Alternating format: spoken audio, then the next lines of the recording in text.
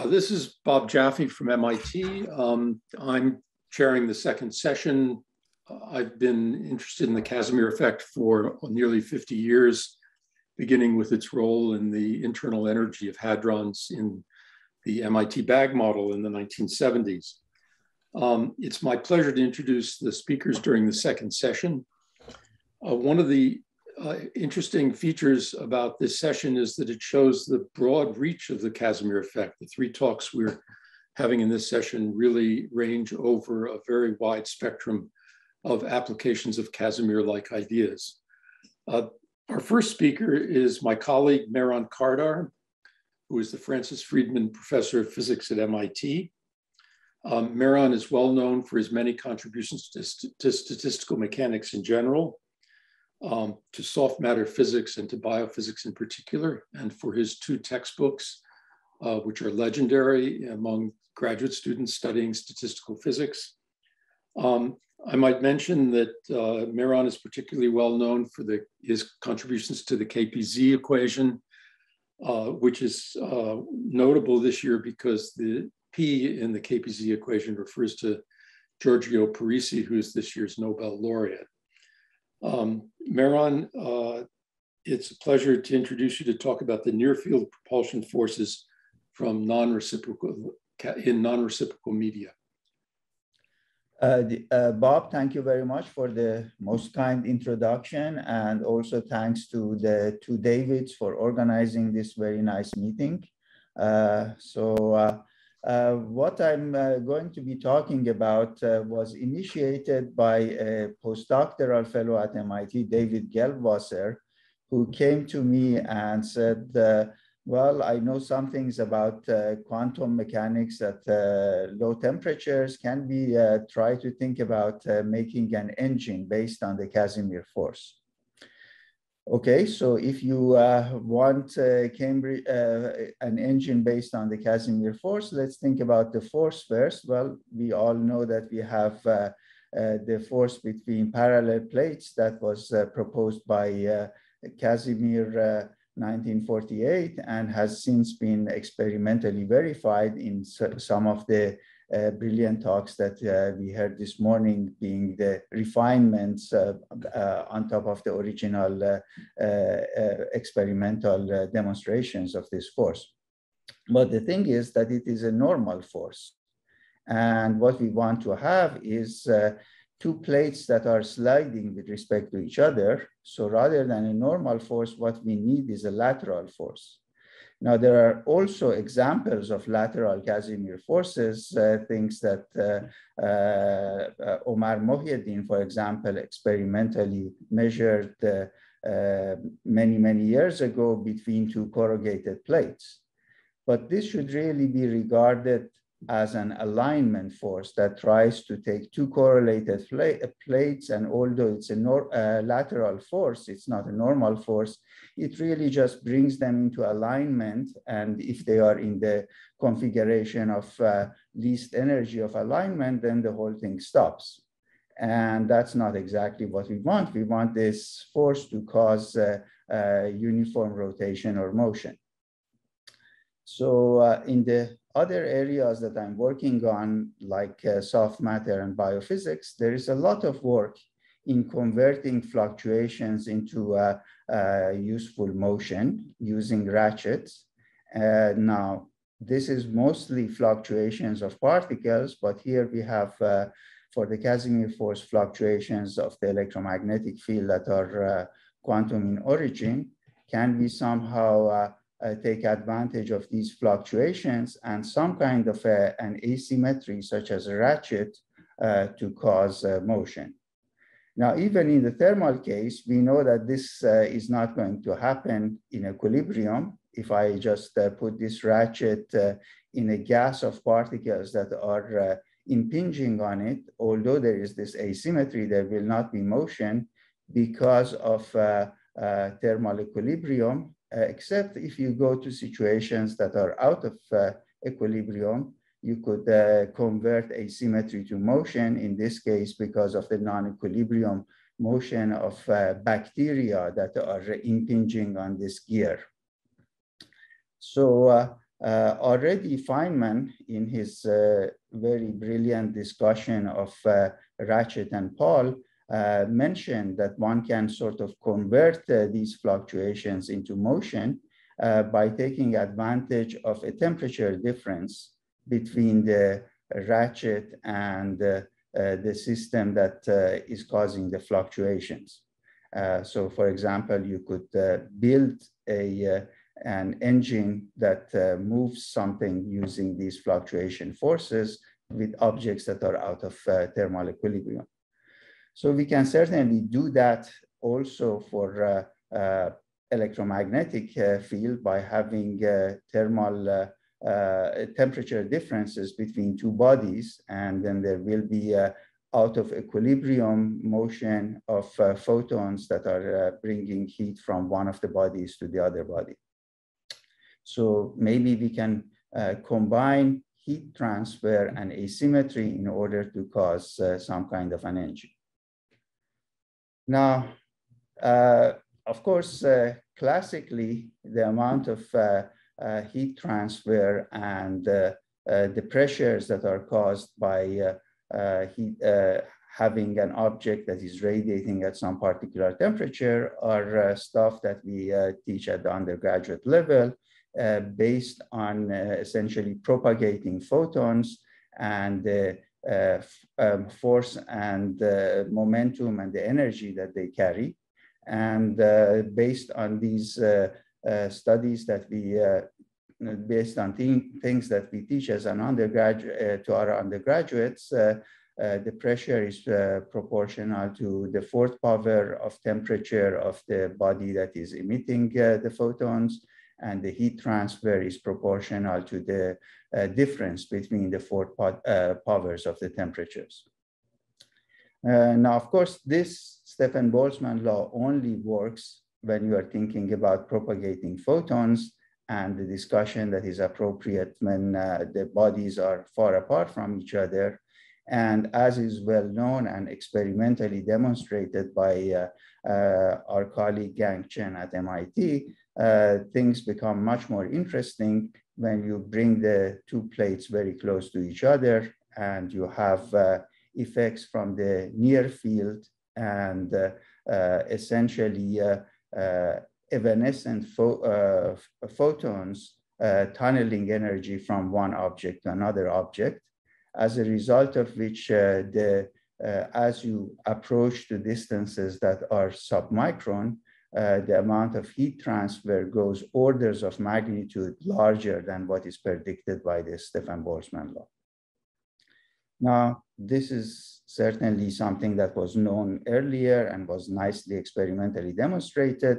Uh, the theoretical approach that uh, uh, gave, uh, can explain these results and also the results that we would like to develop later on was uh, proposed by Rytov in 1959 and uh, basically uh, is uh, based on some use of fluctuation dissipation uh, conditions. So uh, in our sort of description of Rytov's fluctuational quantum electrodynamics, you are dealing with a bunch of objects that are individually held at some temperature. So there is a notion of local thermal equilibrium. Say this body is at temperature T1, this other one as T3, this other one at T2. And uh, what you want to know is to figure out uh, uh, both how much energy is transferred between these objects and also what kind of forces they exert uh, upon each other which would be the generalizations of the Casimir force when we go out of equilibrium. So the prescription of uh, is as follows, that basically uh, there are fluctuations in the electromagnetic field throughout, and the source of these fluctuations are currents that are residing on the bodies that are also fluctuating. The average of these currents is zero, but the fluctuations of these currents, their variance, is controlled by uh, uh, through the fluctuation dissipation theorem by the imaginary part of the response functions that you have in each body. and the magnitude or the strength of uh, those uh, fluctuations reflects on the one hand the zero point fluctuations and on the other hand the thermal fluctuations that are appropriate to the body that is uh, uh, that has these fluctuations in it. So the temperature that one would put in this object, this object, and the third object would all be different once you accept this formalism, then the rest of it is uh, uh, easy to say and hard to compute. The easy part is, okay, if you have a bunch of sources of ele electromagnetic field, these currents, then you can calculate the electric field that is generated by these sources at any point using a Green's function. And uh, uh, once you have the electric field, then you are in business because by looking at various correlators of the electro electromagnetic field, you can calculate both uh, the stress energy tensor and hence compute the forces. Also, you can compute the Poynting vector and hence find the energy transfer. Now, of course, the hard part of this whole thing is to calculate partly the Green's function that is appropriate to this complicated geometry uh, uh, including the effects of the varying response functions that you have in these bodies. But in principle, that's a classical calculation. And once you have this classical Green's function, using this formalism, you can calculate the correlations of the electromagnetic field and convert it to the heat that is transferred between the two bodies and hence in principle have an explanation of this experimental observation. Also, you can calculate the stress energy tensor and calculate the forces that are acting, let's say in this case, between two objects that are at different temperatures. And once you have a, a calculation of forces that are out of equilibrium, interesting things happen. Uh, for example, certainly the forces do not have to be equal and opposite. And in fact, uh, uh, for this system of uh, two silicon spheres, uh, there is a particular configuration and distance where the forces are equal but point in the same direction. So in effect, the hotter object acts as a source of uh, uh, energy that pushes the cold object and the cold object through the Casimir force or the van der Waals force pulls the red object uh, behind it, and you have an example of a kind of rocket that is constructed in this fashion. So the story of this part is that our calculation of Joule is this Rytov of formalism and that near field effects uh, give rise to interesting modifications of what we learn in undergraduate physics. Now, back to our story, we want to uh, uh, calculate a corresponding thing for uh, an uh, something that has the asymmetry of uh, uh, this corrugated object. Let's first start with the case of one object that is heated to some temperature T and see what it radiates. And what we find is that the heat that it radiates is given by a sort of standard formula. It is related to uh, fluctuations uh, at various frequencies uh, omega, and something that captures the scattering behavior of uh, this corrugated object. As was pointed out in the morning lectures, essentially morning seminars, the scattering formalism gives you really uh, the various geometric entities that you need to calculate, uh, say, forces as well as the heat that is radiated. Now, associated with this uh, heat that is radiated, there is actually a transverse force potentially that is acting on this corrugated object because you have broken the symmetry between right and left. There could be a force that uh, is generated, and we found that the magnitude of that force has a very nice uh, relationship to the heat transfer essentially where you had in your integral h bar omega to calculate the energy that leaves the objects, uh, you put an h bar k to calculate uh, the force that is experienced by the object. So it's kind of has the feel for essentially you're shooting away photons out of the system, and these photons have energy h bar omega and uh, uh, momentum h bar k. Now, clearly, because of the uh, dispersion relation, uh, given some particular omega, your value of k is going to be limited and smaller than omega over c. And because of that, the magnitude of this transverse force has to be uh, smaller than the heat transfer divided by c. So that's just a very simple uh, results based on this. You don't need to know anything about the corrugation. So what we said, okay, but what is it? How big is this force that is uh, uh, in this direction? And when we calculated for the, the case that we could actually calculate it, we got zero, which was kind of disappointing.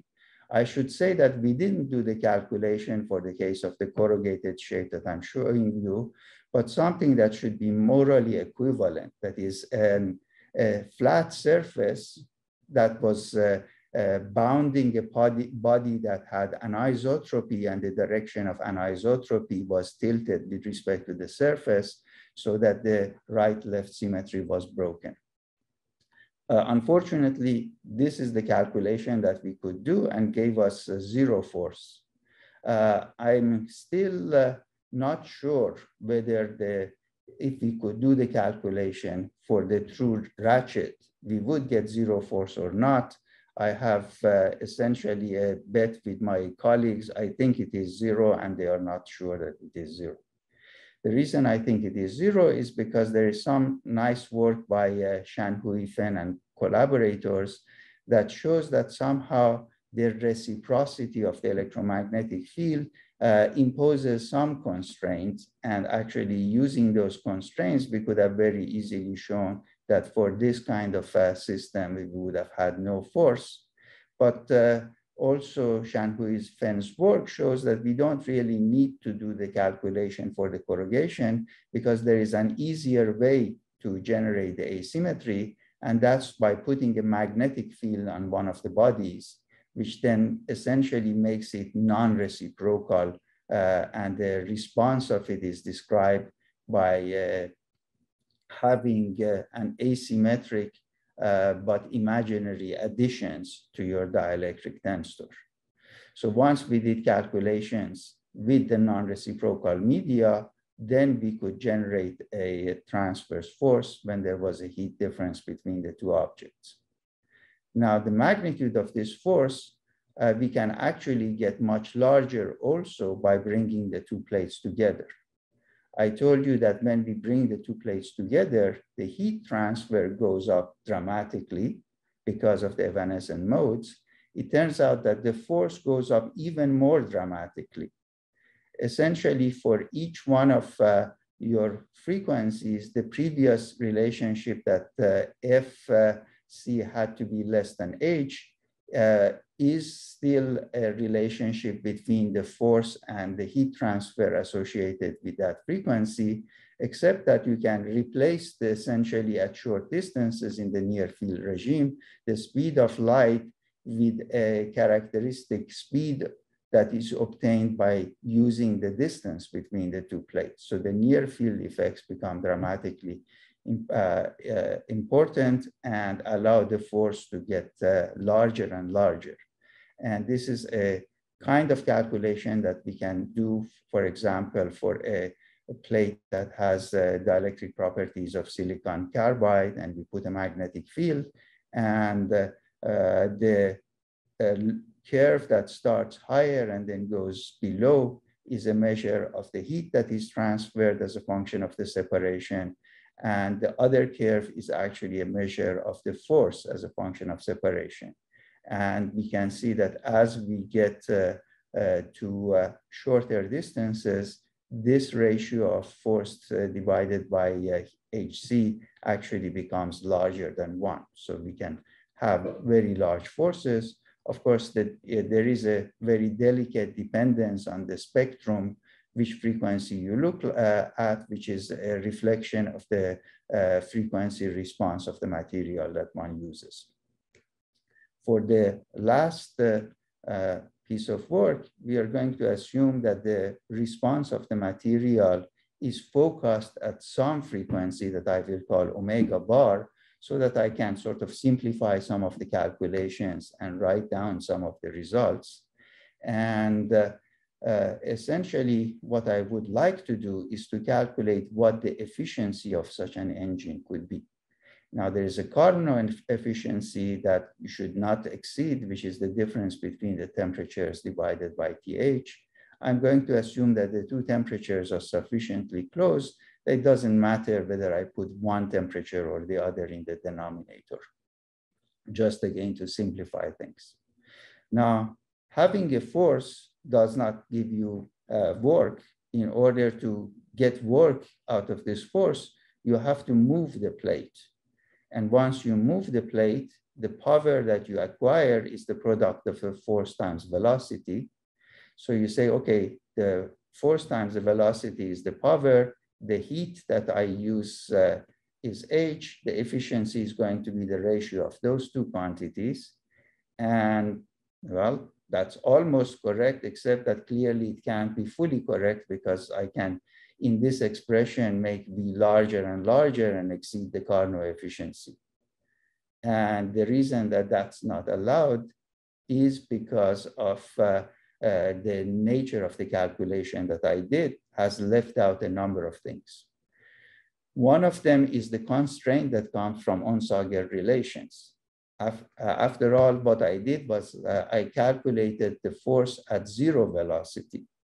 Onsager says that if uh, force can cause motion, then, uh, or heat transfer can cause motion, then motion can modify the heat transfer.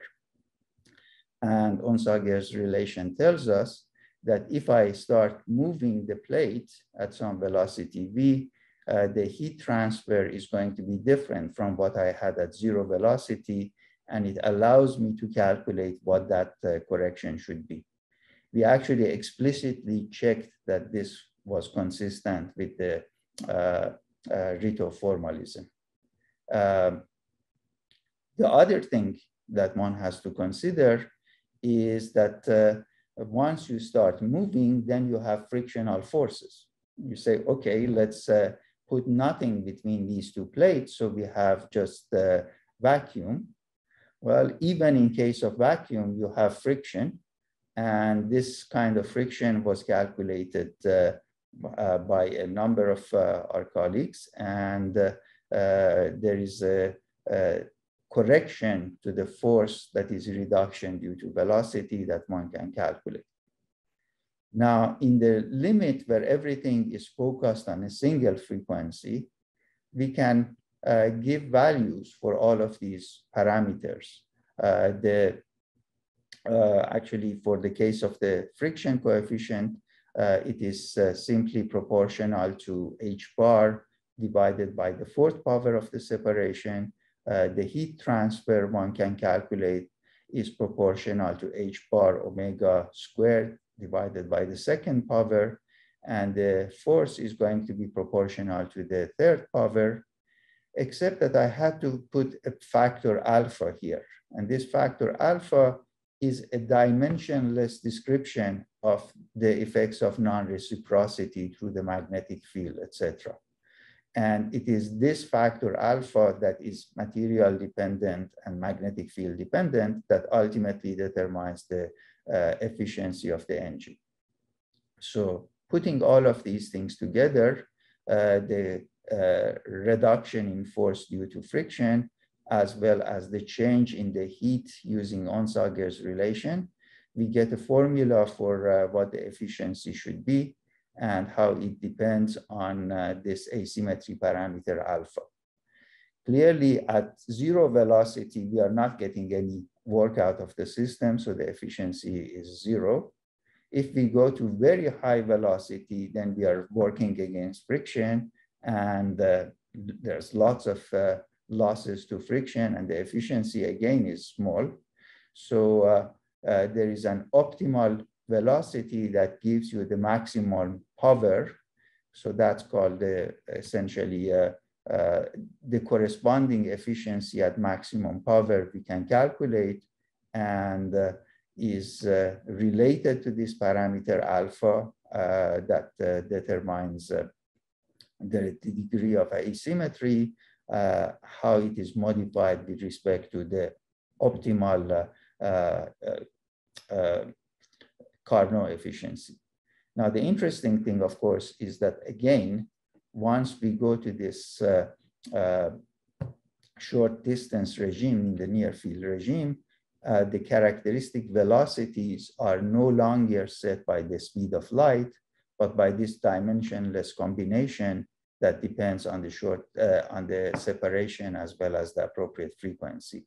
And in principle, by going to small enough distances, uh, one can sort of work on uh, velocity scales that are quite reasonable in order to extract optimal efficiency out of this engine.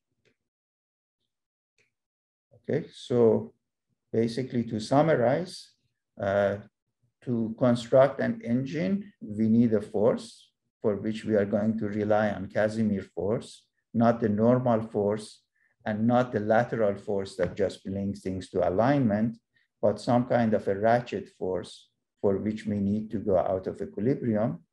And uh, that would be the thing that would give us motion. Uh, then this motion and force is caused by heat transfer. So to compute the heat transfer, we rely on the methodologies that are provided by Rytov. And uh, then the asymmetry that we find that is uh, calculable for us is the case of uh, non-reciprocal media where we put a magnetic field on one of the bodies uh, to, to generate asymmetry. I still would like to know whether uh, for uh, uh, reciprocal media, just having some kind of a uh, ratchet effect would give you a force or not, and that we haven't uh, completely finished figuring out the answer to that. Uh, but uh, once you have the force, you can move things and you have power, and then you have computations of work, uh, Onsager relations, and uh, frictional forces. And with all of these things, you can, in principle, construct uh, an engine. So you need asymmetry that is provided by the uh, non-reciprocity, you need heat transfer, and in the short uh, uh, near field regime, short distance near field regime, you have the elements of something that would potentially work. so this work was done uh, with David Dol uh, Gelbwasser, Noah Graham, and uh, Matthias Kruger, and his continuation of collaboration that has been very useful for the Casimir force theory at MIT. former students Maghrebi, Jamal Rahi, Vlad Golyk, Ramin Golestanian, and people who are uh, in this meeting, yeah, Giuseppe Bimonte, Torsten Emig, and uh, uh, Bob Jaffe that uh, has been a long time collaborator, roughly 20 years on this Casimir force with me. So thank you very much for uh, listening to me.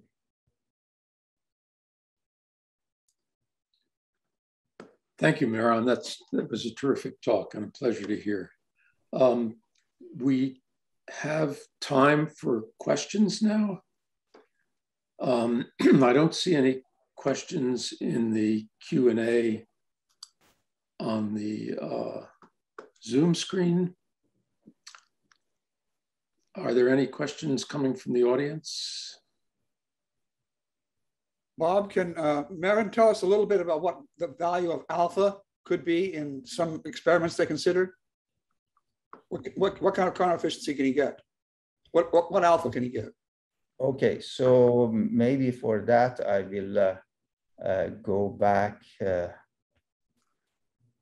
to this. There it is, right. Explicit calculation that we did for silicon carbide. And uh, uh, the thing that uh, we used was a temperature difference that was reasonable between 300 and 270. the degree of asymmetry which gave us these very large forces. The distances are, uh, again, uh, of the order of hundreds of nanometers. So one should be able to go to those distances. the thing that I'm not sure how realistic is, is that we assume that we had a magnetic field of the order of 10 Tesla in order to get these results. And that may be uh, too much. And uh, uh, I think in order to get an alpha that is of the order of uh, unity, which is this dimensionless number, I guess for the material parameters that we use for silicon carbide, the, fields that we had to use were of the order of 10 Tesla. Mehran, I can't resist uh, asking you a question, which is a leading question, um, to get a little discussion started. Uh, in her talk, Lilia mentioned in passing proposals for vacuum propulsion based on the Casimir effect since you've been talking about propulsion in systems in heat baths, uh, I thought I might ask you what you think of vacuum propulsion systems. Okay, Un unfortunately, I was there at the beginning and at the end of Lilia's talk, but I had to go to another meeting uh, in between. So I did not hear the explicit suggestion.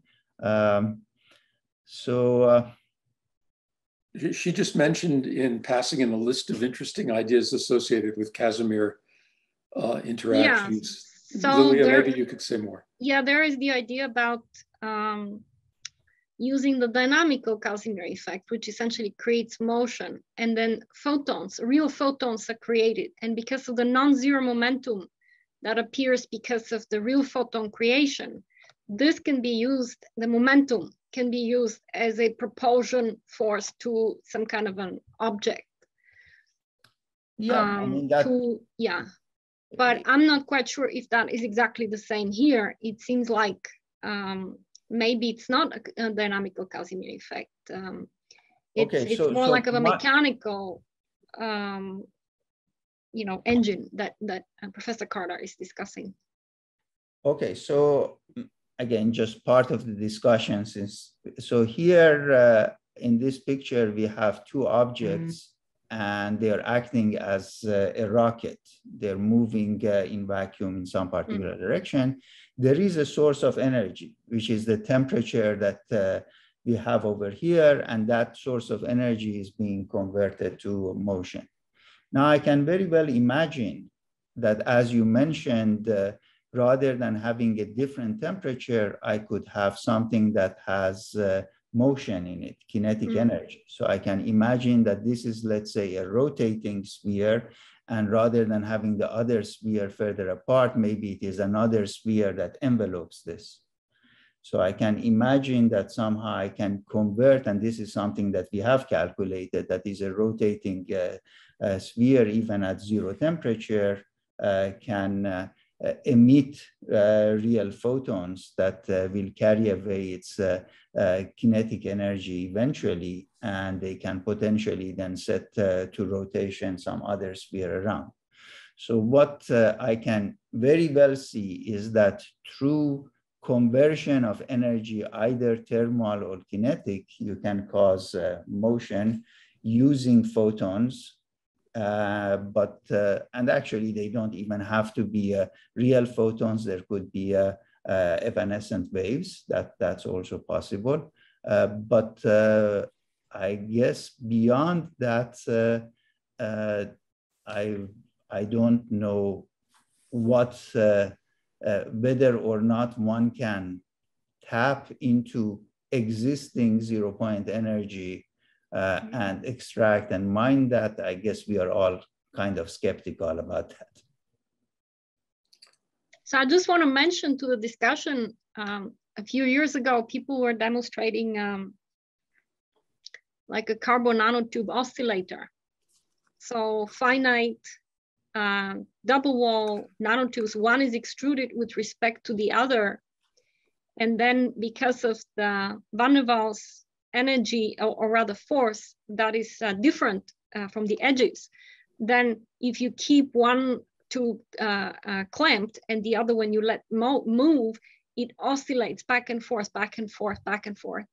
So it's different than an engine, but it's still a motion that's created because of some kind of um, simple van der Waals interaction from the edges. And it turns out that this oscillator is the fastest mechanical oscillator that uh, people have reported um, with frequency like gigahertz. That's mechanical frequency. It's quite, you know, unattainable by other um, oscillators that we know. So it's just in addition to what Professor Kardar is discussing here for mechanical engine. Quite fascinating.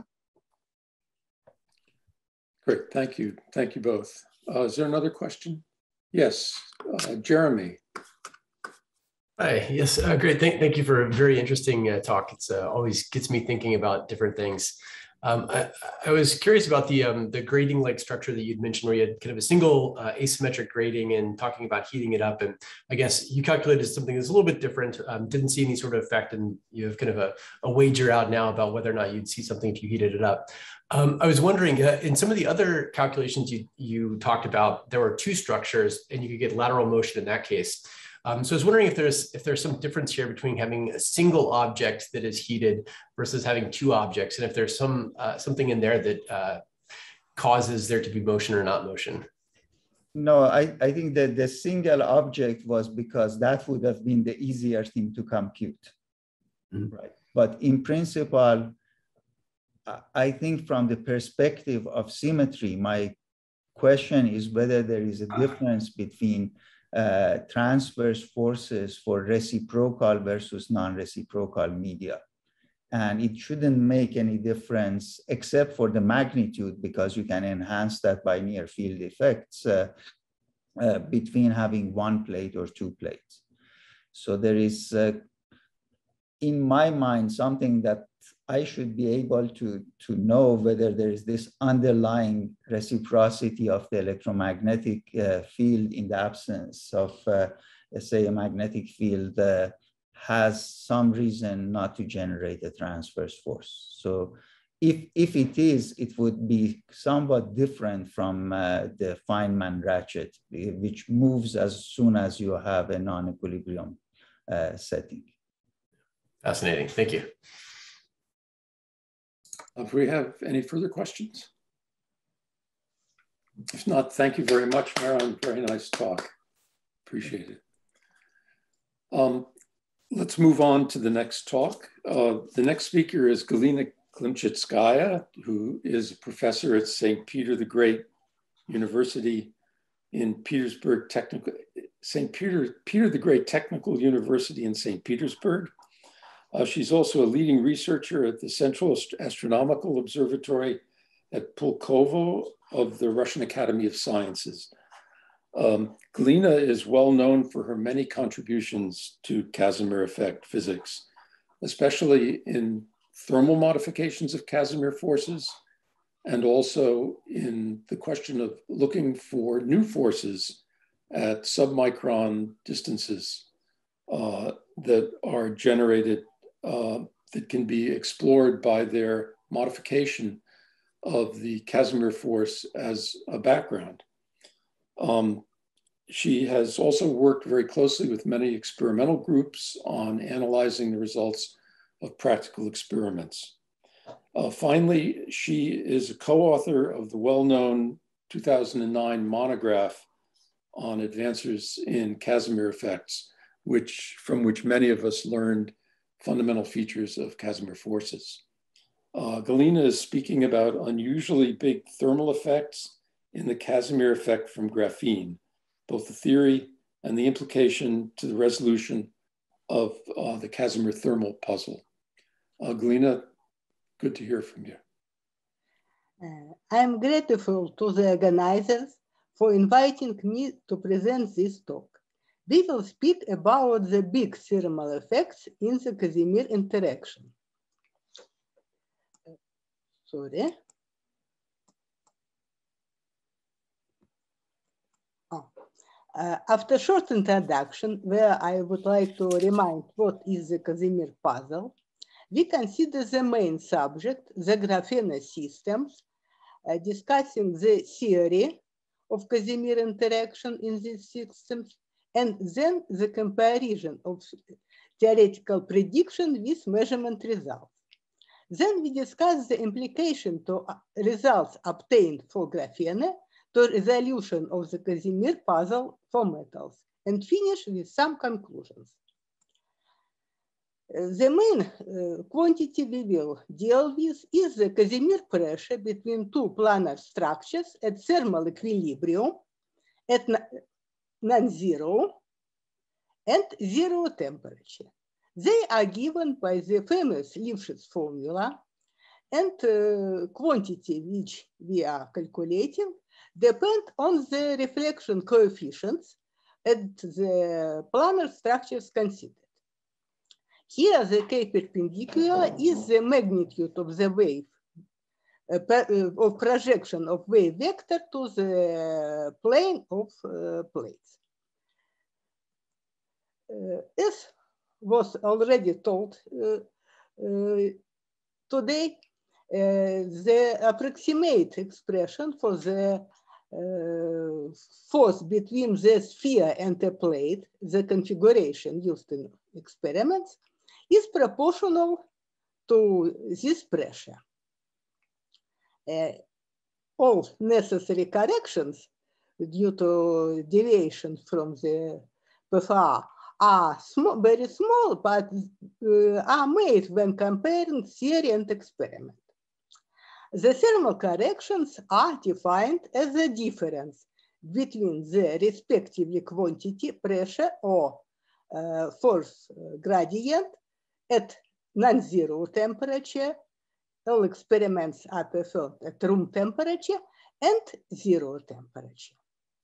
The thermal regime in the Casimir force is characterized by the thermal length, which is rather large at room temperature. And it was natural to assume that the uh, thermal effects are essential quite near this thermal length. But in 2000, it was predicted first system where exist the large thermal corrections at short separation. This system was very simple, metallic plates. But we know that uh, reflection coefficients for uh, plates made of uh, usual local materials are simple uh, Fresnel reflection coefficients calculated along the imaginary frequency axis. And the main question is what characteristics we are used to describe the dielectric permittivity and magnetic permeability if we have magnetic material. For the metals, we have two uh, models of dielectric permittivity. The Drude model permittivity uh, is here. The first term is the contribution from the core electrons, and the second term is the contribution of free charge carriers. And this model is uh, well approved by many experiments with real electromagnetic field.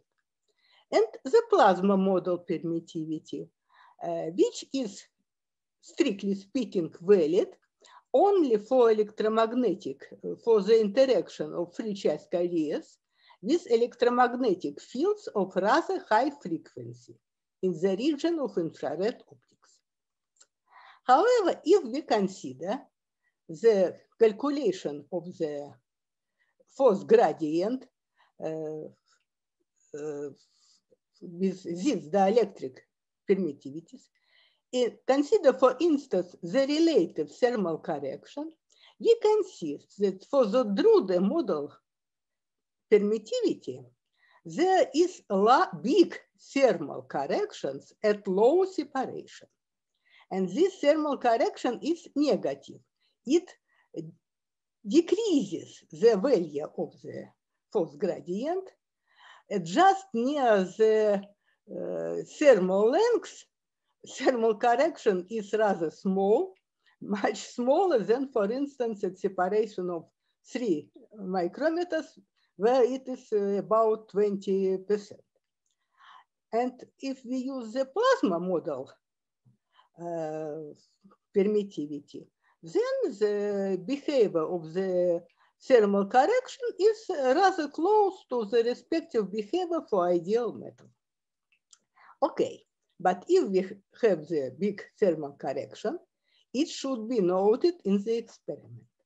But as already told Ricardo Decca, this prediction, this theoretical prediction of big thermal correction for the metallic test bodies was excluded by the experiments. I show here the picture for the uh, gradient of the force between sphere and the plate from the for the uh, gold surfaces. And you see here the crosses are the experimental data with their errors. Here the errors calculated at 95 confidence level. The red line here is the theoretic, as the theoretical predictions using the Lifshitz theory combined with the plasma model dielectric permittivity. And blue band is the theoretical predictions uh, calculated using the Lifshitz theory with the Drude dielectric function. Similar situation is for the magnetic nickel test bodies. Uh, in this situation also we have the experimental corrosives and the prediction using the plasma model dielectric permittivity in a very good agreement with the theory and within the experimental errors. And the prediction of the Drude model dielectric permittivity are excluded by the data. The same we have was shown in many other precise measurements of the Casimir force. And moreover, for metals with perfect crystal lattices, the Lifshitz theory combined with the Drude model leads to a non-zero value of the Casimir entropy at zero temperature, which depends on the parameters of a system. This means that we have a violation of the third law of thermodynamics, the Nernst heat theory. This situation was called the Casimir puzzle. Okay, so the first prediction of the large, of the big thermal correction was excluded experimentally. The second system where the big thermal correction was predicted is the graphene, was, which was considered in the talk by Lilia. Uh, what is uh, here, uh, the big thermal correction at very short separation distances, even of 10 nanometers, was predicted in 2009. Okay, what is interesting for us? For graphene, the uh, response of this system to electromagnetic field of rather low uh, energy below 2 EV uh, may be calculated in the framework of the fundamental theory, the quantum electrodynamics at non-zero temperature in one plus two dimensional space-time. Uh, this uh, response is described by the polarization tensor of graphene. And reflection coefficients on uh, electromagnetic, electromagnetic field on graphene uh, sheet uh, at real or imaginary frequencies are expressed via the components of the polarization tensor of graphene.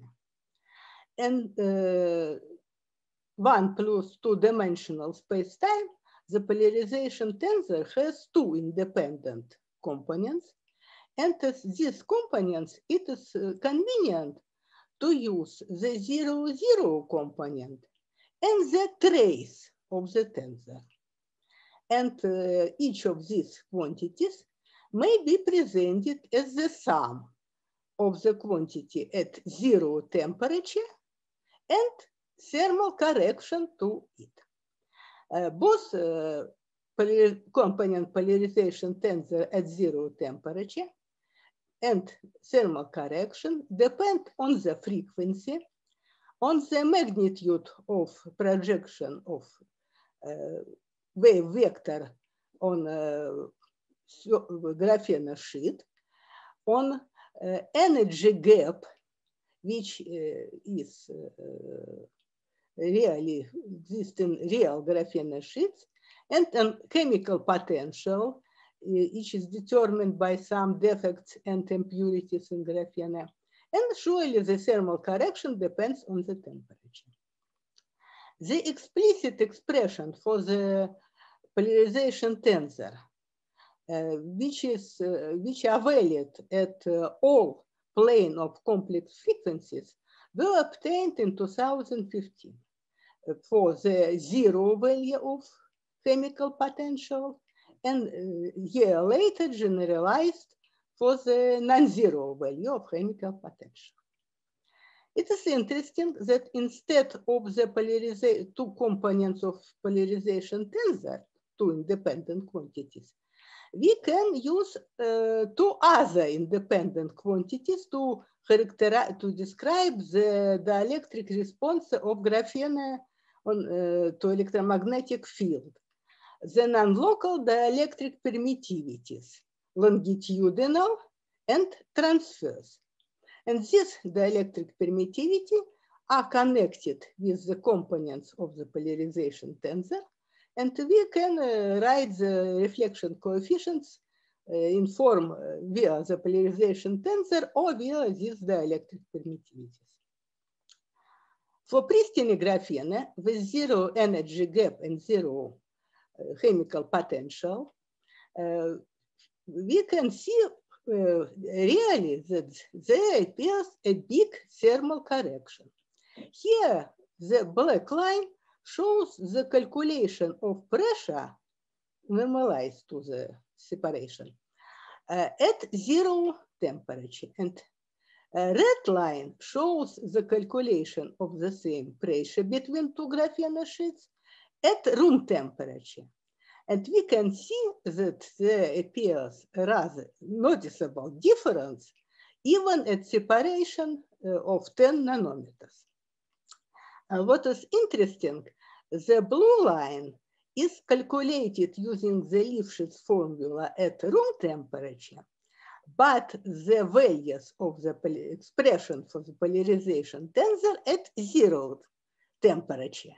So it does not take into account the temperature dependence of uh, dielectric response of graphene. And we can see that at shortest separation, uh, the main uh, uh, thermal correction is quite due to the thermal dependence of properties of graphene. But at larger separation, uh, both effects give uh, practically one half of total thermal effect. No? Yes, the first prediction of big uh, thermal effect was excluded experimentally. The second prediction also should be checked in experiment. However, it is hard to perform experiments with a single graphene sheet. We should deposit this sheet onto some plate. In the case of material plates coated with a graphene sheet, the reflection coefficients depend on the uh, dielectric permittivity of uh, plate material and on the polarization tensor of graphene.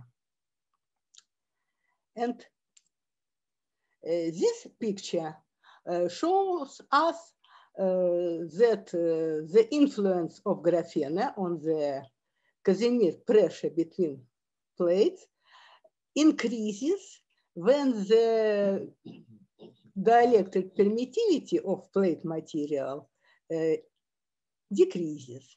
Okay.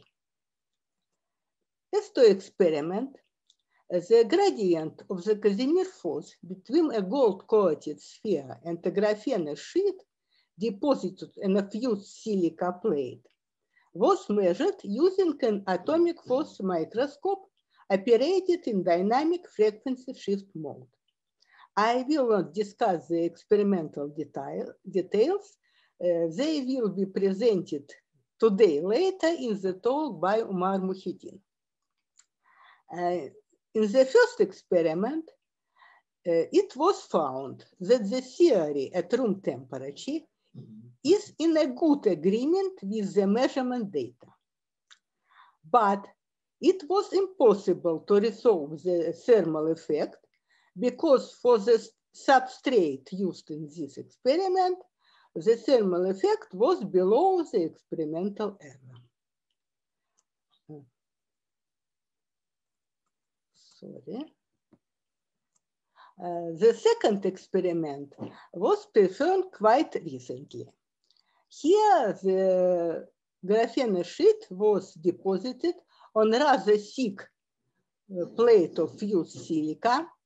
And in addition, the parameters of graphene used was uh, determined independ in independent experiment. The chemical potential, value of chemical potential, and uh, energy gap. At these pictures, we present the by crosses the measured uh, values of the force gradient at different separation ranges with errors calculated at uh, this confidence level. And the uh, red bands are the results of uh, computation, theoretical computations performed uh, for given parameters uh, at room temperature. The blue bands are the uh, results of numerical computation performed at zero temperature. So the difference between the red and blue bands is quite the thermal correction in graphene. And we can see that in this experiment, we really see uh, the existence of big thermal correction in graphene, and we can uh, see the, the, difference between uh, predictions at zero temperature at experimental results up to separation about 120 nanometers.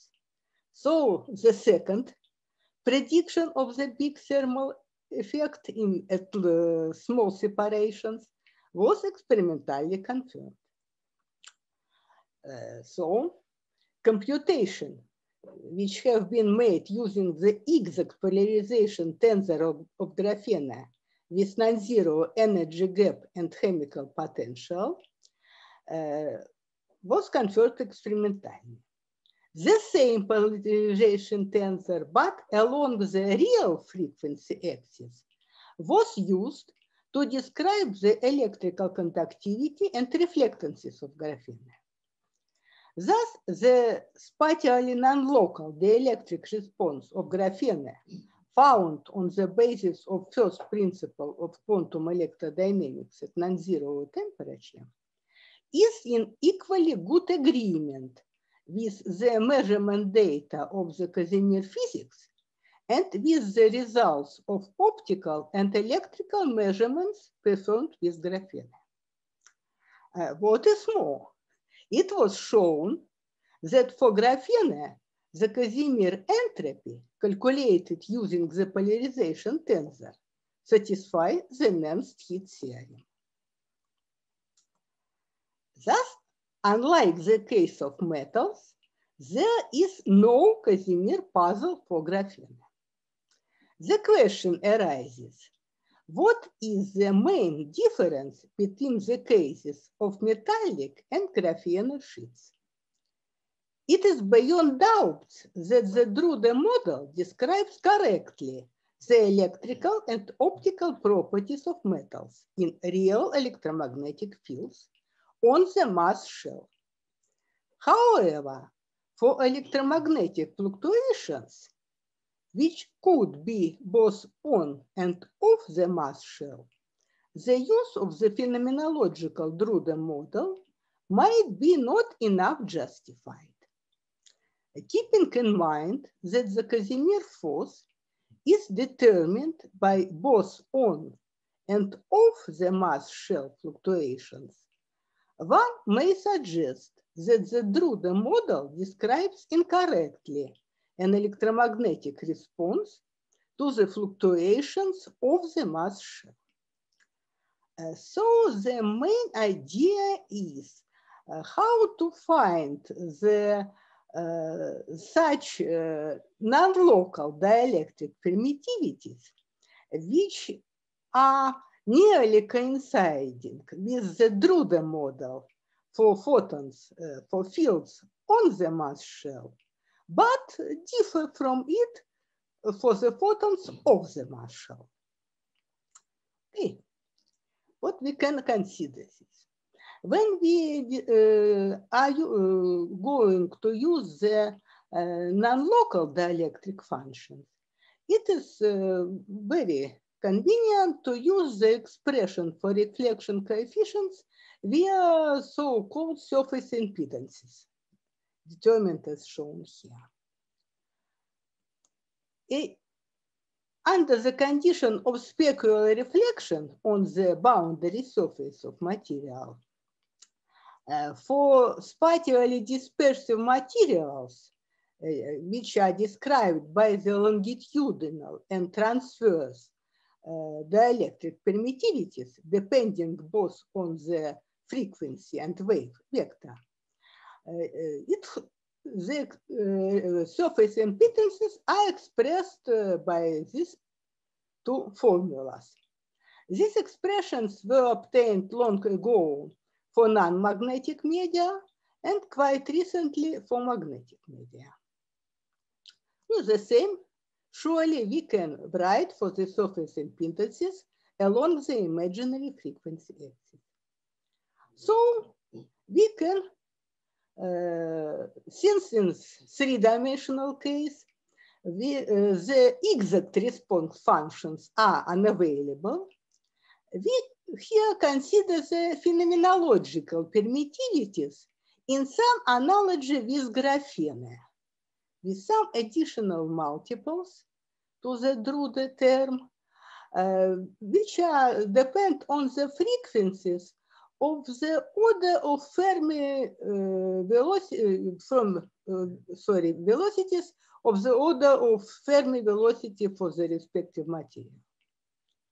For photons on the mass shell, where the inequality holds, uh, the additions are very, very small, so that these non-local permittivities are practically local and coincide with the Drude model dielectric permittivity.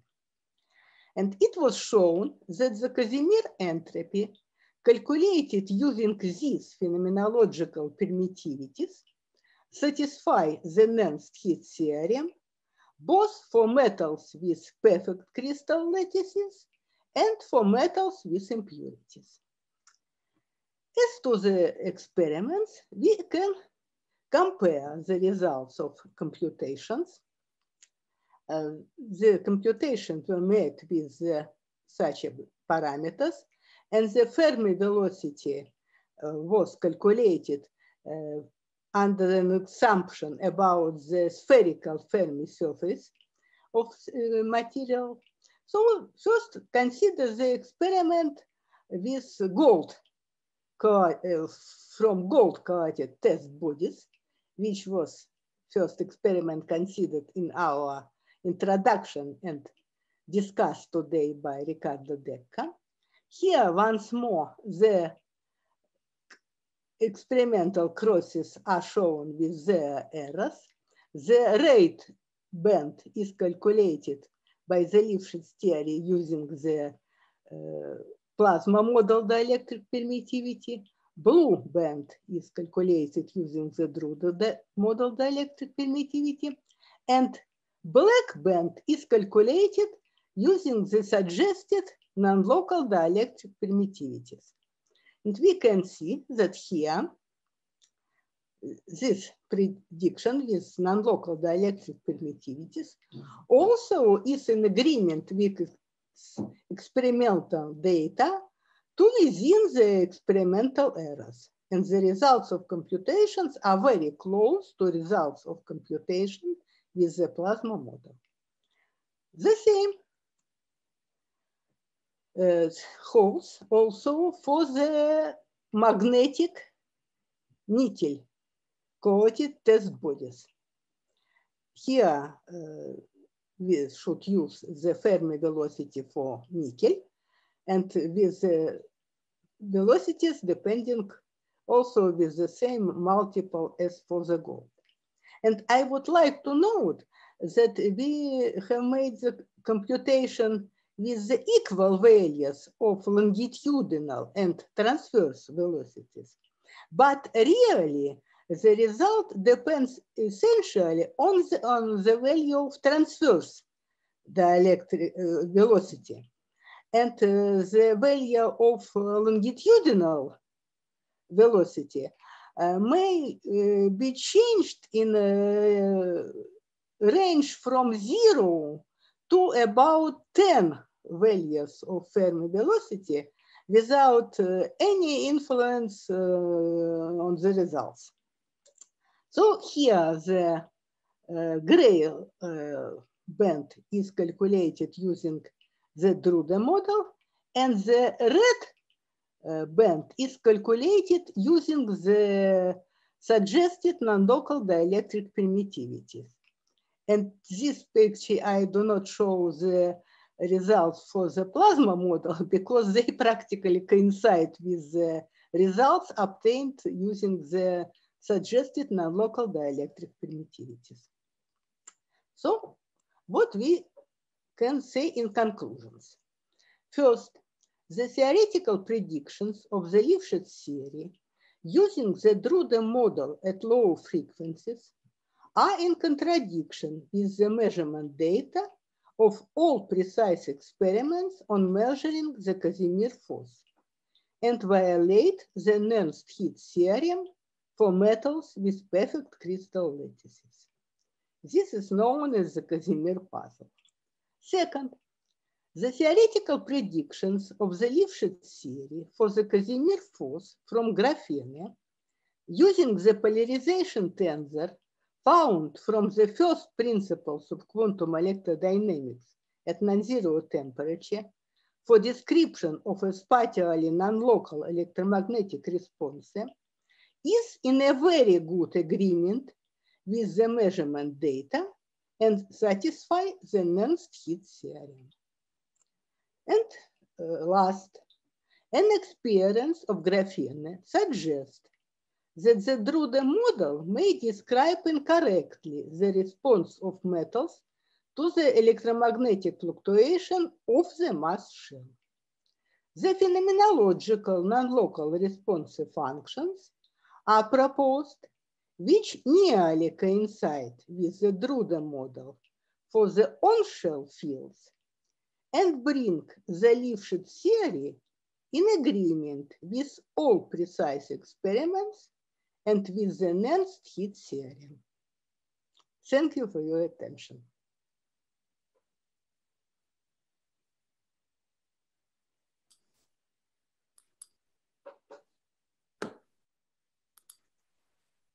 Um, thank you. Thank you very much, Galina. My video doesn't seem to be coming on. Here we go. So I'm back. Thank you very much. That was an excellent talk. Uh, very clear and very intriguing. Um, are there any questions?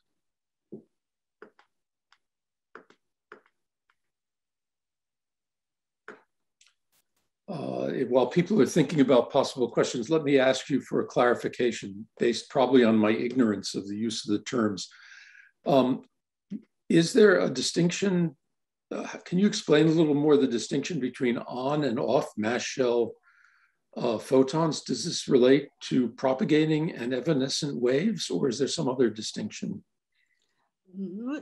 I think so. Maybe we can say that uh, when we write this Lifshitz formula not along the imaginary uh, but along the real frequency axis, then we uh, consider the integration independently on two, on the frequency and wave vector, projection of wave vector, and the photons which here we call the on the mass shell, we call the propagating. Yeah. And the photons with uh, here we call the of the mass shell, this formula we call the evanescent. Good. Thank you very much. I, I, actually I was going to ask what the relation, how you saw this on the imaginary axis, but I think you've made it made it clear that the distinction can be seen in the calculation on the real axis. Um, are there are there other questions?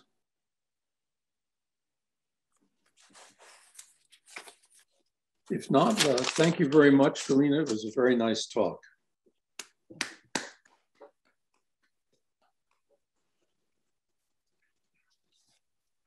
Uh, we're running a little early. Um, I, I, guess I can ask whether uh, Ulf is here and ready to talk. I see you on the screen. Are you uh, happy? Yes. To, uh, are you happy to start a few minutes early?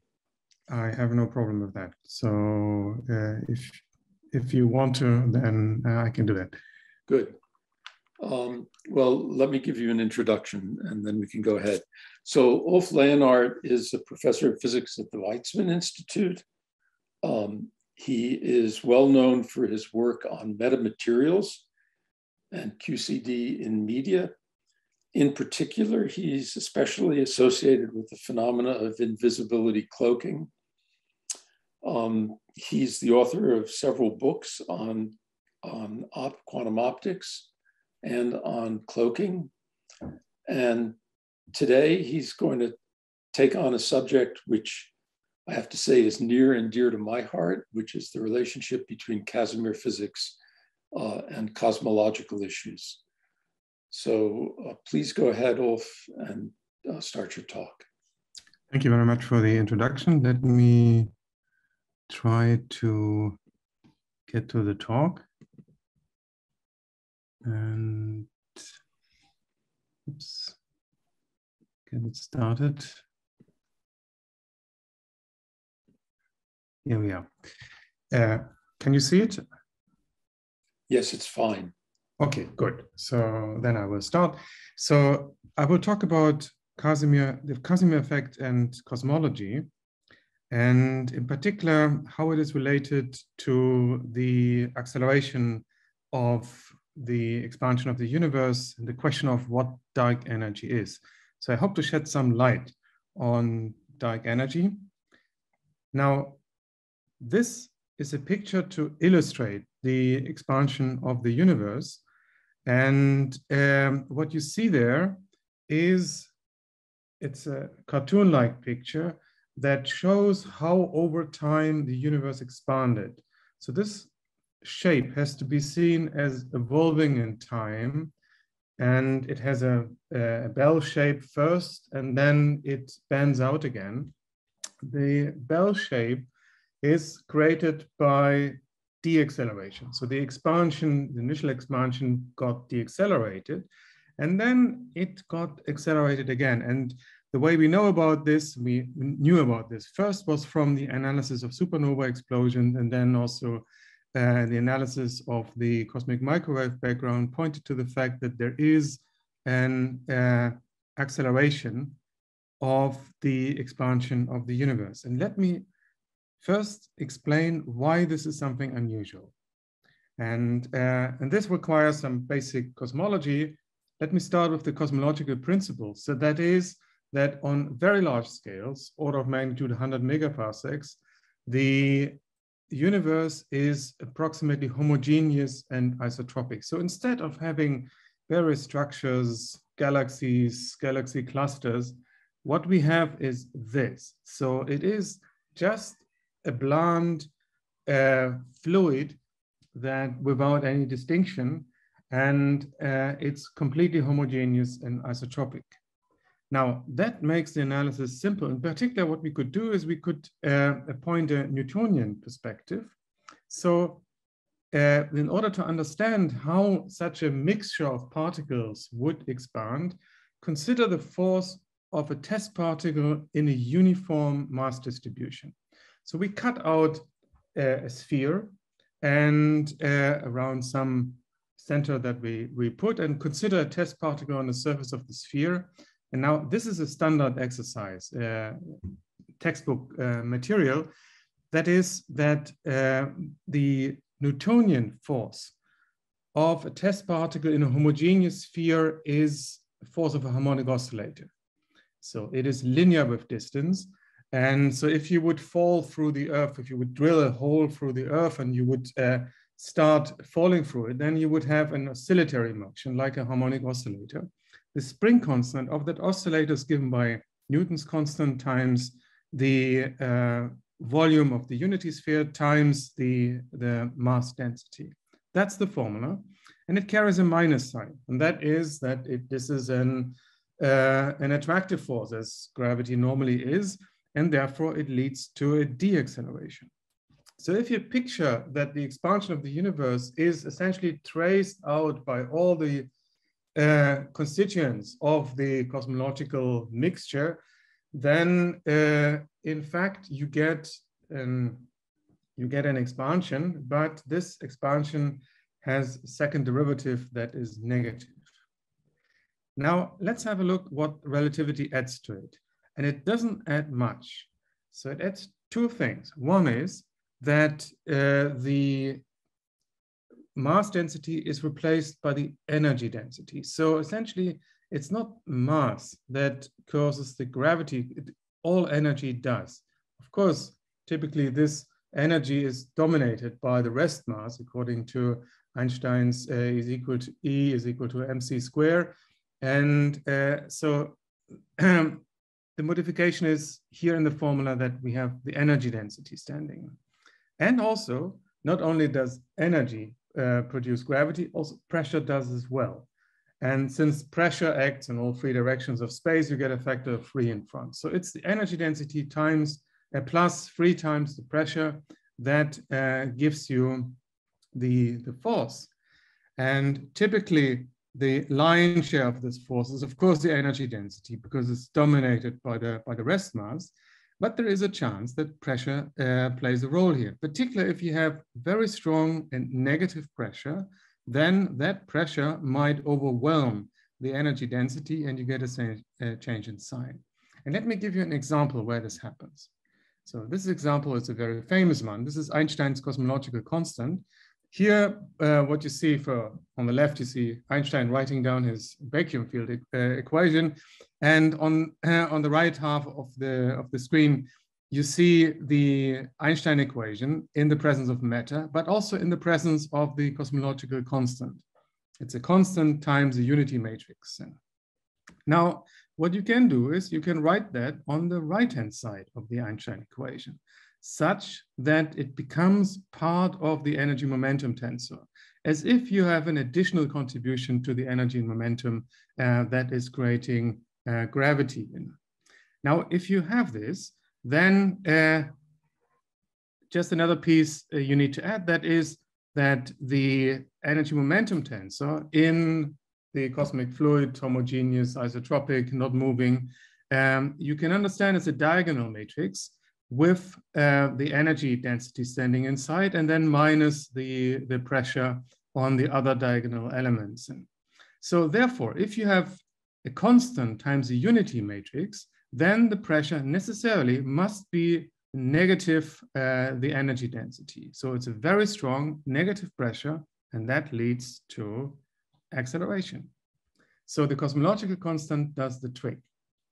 Now, but the cosmological constant is just the phenomenological constant. Where does it come from? And it has been suggested that it comes from vacuum fluctuations. And to my knowledge, the first uh, suggestion, the published suggestion, is by Zeldovich, and it's quite some time ago from 1968.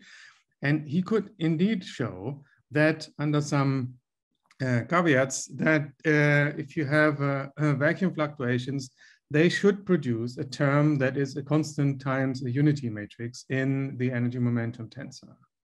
So there we have it. But if you put in numbers into this term, then you are uh, experiencing a surprise. So the theoretical prediction, if assuming a realistic cutoff near the Planck scale, is off by 120 orders of magnitude in comparison with what the measured uh, result is. So uh, there's quite a disagreement.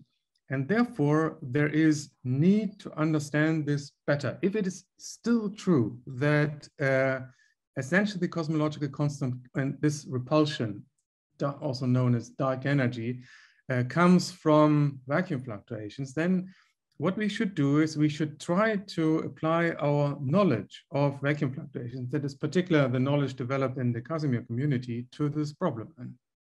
And there we experience, we have quite a lot of knowledge acquired and these forces are nothing, are not so mysterious. So these are, they appear as van der Waals forces uh, between individual uh, molecules. If you have let several of those molecules together to form dielectric objects, then they're, and they're just called Casimir forces, but in fact they are the same. They're occurring in nature. They're the roots for capillary forces that uh, feed water to uh, the leaves of trees. Uh, they appear in nature also in the ability of geckos of climbing walls because these feet contain lots of tiny hairs of which they can stick to walls. And so Casimir forces are ubiquitous, and we have quite a good understanding of this, which is evident from this uh, seminar. And uh, we've heard about the high precision experiments that have been performed. And uh, so there is good agreement also with theory and experiment in, in this field. And therefore, we should take advantage of this. And for example, we have uh, manipulations of Casimir forces. That's another thing I wanted to mention uh, the turn to repulsive Casimir forces, to the possibility of having um, repulsive and attractive Casimir forces and to have an equilibrium, these sort of things. And we have a good theory. So we have Lifshitz's theory that allows a prediction of these forces in realistic materials where there is dispersion and um, uh, uh, and a theory that agrees with experiment up to a percent level. So uh, moreover, we can apply this theory to the expansion of the universe because of an analogy. So we could think about the expansion of the universe as an actual expansion. So objects becoming uh, further away from each other. That's illustrated on the, on the left picture here that uh, shows how a patch of space gets expanded over time. But equivalently, on the right-hand side, you can visualize this as a refractive index distribution that rises. So the electromagnetic field, that's exactly the same. So in that picture, two points remain at the same positions, but uh, space uh, appears like a medium with a refractive index that changes in time such that optically their distance grows. So these pictures are completely equivalent. And uh, therefore, we could map the problem of vacuum effects in the expanding universe to the vacuum effects in a dielectric material with time-dependent refractive index. So all you have to do to go into Casimir cosmology is simply to replace, uh, to turn from space into time. So typically we're talking about uh, forces between dielectric objects that we can describe as dielectric function varying in space, so having different values at different positions. We should then uh, replace this by uh, an arrangement where the dielectric properties vary in time. And, and that's it. The only problem here is that uh, the expansion of the universe is a continuous process. So it, it happens gradually. And we don't have uh, chunks of or jumps happening and as you would have in space so you have uh, here's a bit of material there's a bit of material and uh, nothing in between so to say and so the dielectric function in space would change uh, discontinuously and in uh, changes in time we don't have that uh, we have a continuous process and that is the challenge and that has taken us considerable time to understand. So we began with the analysis of vacuum forces in materials that uh, vary in, in space. And that took two excellent uh, PhD students to, to tackle. A fantastic master student. We benefited from a postdoc who is now an assistant professor at the Weizmann Institute. And I spent then two years in solitude to turn this from space into time. All this work And let me give you three excellent reasons why this all this work uh, is a complete waste of time and then debunk those reasons. So number one, let me give an objection. The following, I will prove to you that the vacuum energy is exactly zero. Second, okay, if it's not exactly zero, I will prove to you that it's very small. So it's way too small to be relevant on cosmological scales. And third, uh, even if it, it's not that, uh, if, if that is not true, then I will show to you that it's not going to be repulsive anyway. So let me go through this through these three objections. The purpose is to show you how subtle these things are, and also uh, because there's a lot of beautiful physics uh, involved. And number one, so um, that the vacuum energy is exactly zero. The argument goes like this. So imagine we are out there in space. We are talking about uh, the expanding universe. And uh, let's redefine the measure of time. Let's adjust time to the expansion of the universe. You could measure time by using an optical clock. So you have the light pulses bouncing back and forth in a, uh, in a resonator.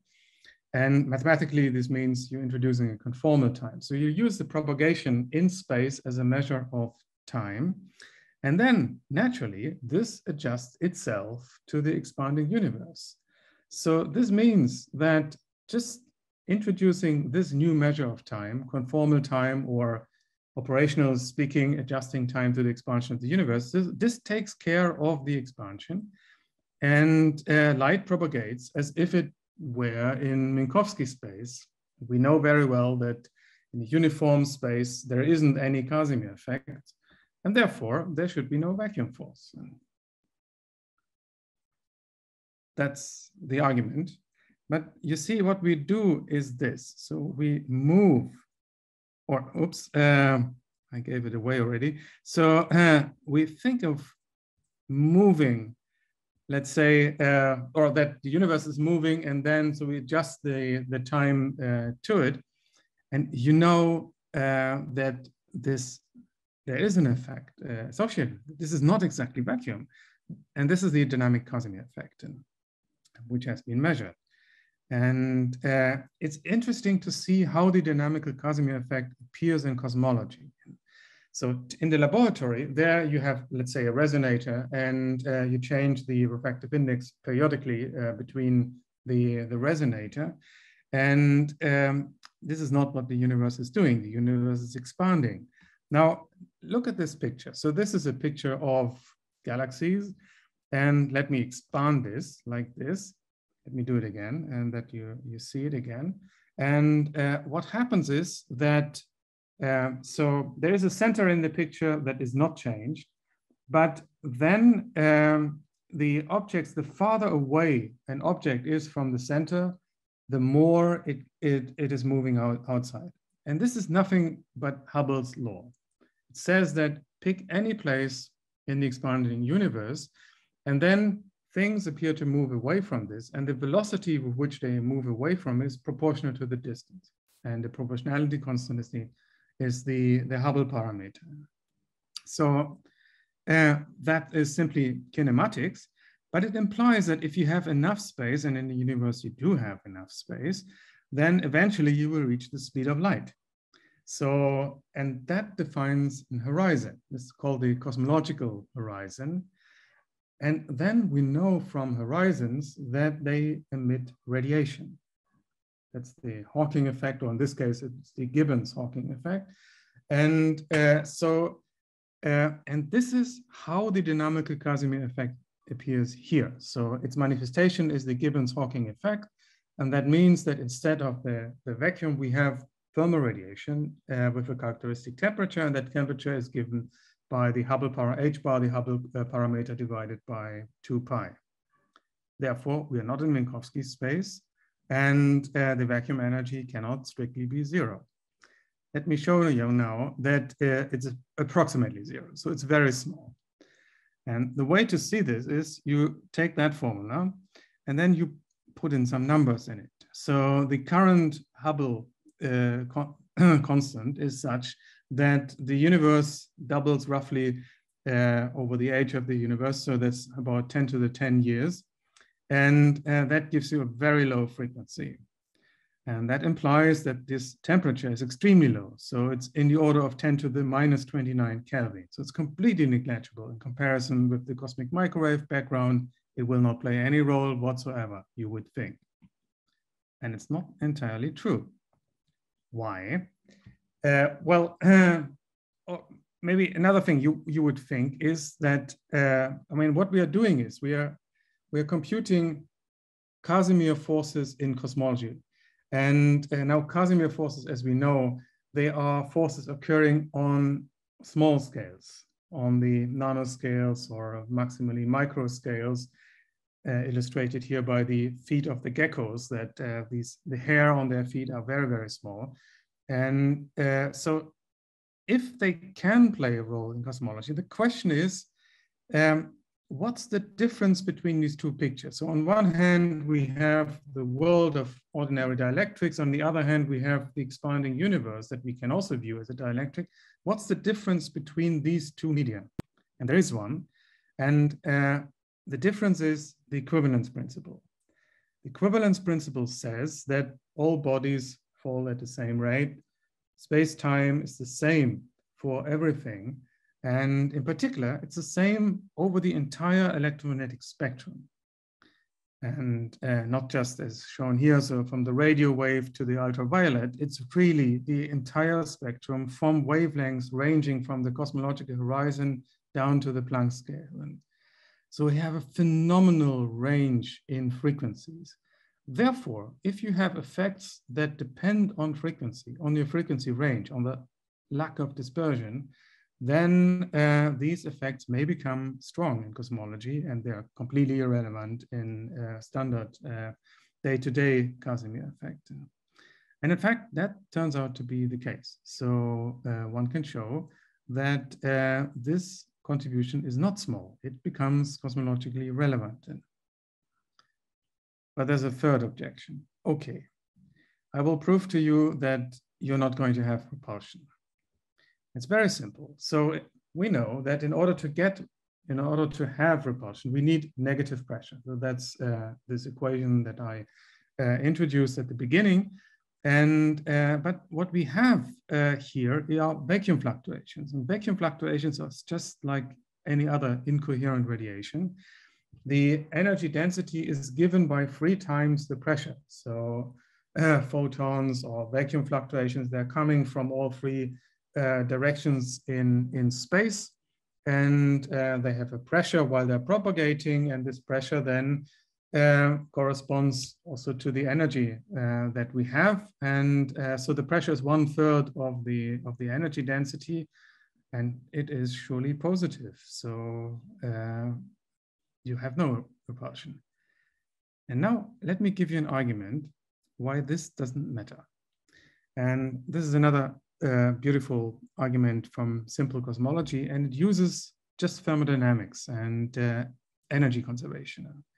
So if the if we don't have a change in entropy, then we know from thermodynamics that the increase, the increment in energy is minus the pressure times the increment uh, in volume. We can write this in terms of an energy density as uh, volume times increment in energy density plus energy density increment in, in volume. Now, uh, the universe is expanding, the volume is getting larger, and uh, the ratio of increment of the volume over the volume must be then three times the scale factor, in our case, the refractive index, over, so increase in the scale factor over the, uh, the scale factor itself. Taking these things together, what we get is that uh, the increment in energy density is minus three times energy density plus pressure times the increment in the refractive index. And that is known as one of the Friedmann equations. So uh, if we then have a situation where the pressure is exactly one third of the energy density, put everything together, and see that the increment in energy density over the energy density is minus four times the increment in the scale factor or refractive index. That's a differential equation. It has a solution that uh, the energy density must be proportional to the inverse fourth power of uh, the refractive index or the scale factor. And there is here no room for the Casimir force. And that leads to an interesting effect called a, uh, anomaly. And let me explain uh, how this goes. So why is there no room here for the Casimir force? Because Casimir forces, they live on differences in refractive indices. So differences in refractive indices in space or in time. And uh, so in particular, what one finds from these calculations is that the vacuum energy density is proportional to the third derivative of the inverse uh, Hubble parameter. And so that clearly depends on derivatives of the refractive index and not on the refractive index itself. Now, if we have to consider this Friedmann equation, that uh, particular then the time derivative of the energy density is minus three times the Hubble constant or Hubble parameter times uh, epsilon plus p, then in order to satisfy this equation, so, so to have energy uh, conservation, then we need to add something to the energy. And the something we add to this should be consistent with this equation. So it should not change the right-hand side. And, and therefore, its energy density and its pressure must exactly balance. So energy density of what we're adding here and uh, the, uh, the pressure, they must be negative to each other. So this is how the cosmological constant appears as a trace anomaly. And that uh, completes the picture. And uh, this is something that uh, I've uh, written up. And I would like to add one more thing. And that is, uh, we of course then continued working on this in several directions. And uh, I would like to discuss one particular direction. And that is that what we did is to compare the prediction of this theory with actual astronomical data. And uh, so because astronomy or cosmology has become a precise science, we can, we can do this. And uh, this was done together with a, a beginning PhD student, uh, Dror Berechya. And we recently published our uh, first paper on this. So this is my very first uh, astronomy paper. And uh, this is where we compared the predictions of this Casimir-inspired theory with astronomical data. So here is one of these comparisons. So what do you see in this picture? Let me explain this. So this is a diagram called a Hubble diagram, and the axes are as follows. So Z is the redshift. So this quantity that it's easy to measure. is simply the frequency uh, wavelength shift of uh, the event that you're observing. And, and uh, it depends on the expansion of the universe. So it's the, the redshift created by the expansion. If you have a light wave and you're uh, uh, in, uh, propagating in space and the space is expanding, that is creating a redshift. And so um, if that right, light wave was created at some point and you're observing it later, then uh, the expansion from this point to your observation um, characterizes the, the redshift. So this is one, one quantity, one axis. On the other axis, this mu is simply the logarithm of distance, loosely speaking. So with some appropriate prefactors and correction factors. So, and uh, so it's distance versus redshift. Now these dots here, they are all, they are supernova explosions. And there are specific supernova explosions, so uh, type 1a supernova explosions, where astronomers know their brightness. You see, if you know the brightness of an object and then you measure the relative brightness, so the, the observed brightness, then you can work out the distance from the one over uh, square law in uh, loss of uh, brightness. And therefore, you can find this, this mu parameter here. So this is known as a Hubble diagram. And uh, what you see then, there are two curves. One is the red curve and the other one is the black curve. The red curve is the curve from the current uh, best cosmological standard model, assuming a constant cosmological constant. And, uh, and the black curve, this is our curve. So this is the prediction from the Lifshitz theory in cosmology. And first of all, you see that both curves fit the data very well. And in fact, the Lifshitz curve fits it slightly better. So it's not that statistically significant, but it is, it is at the very least, it's not inconsistent and it's a bit better than what the prediction is. Moreover, uh, this theory may explain a, a, puzzle in astronomy. And let me, let me explain what this, what this puzzle is. And let me first state what the opportunity for it is. So the prediction from the vacuum fluctuation is that it's um, the cosmological term is created or the vacuum energy because of the expansion of the universe, because of changes in the gradual changes in the refractive index.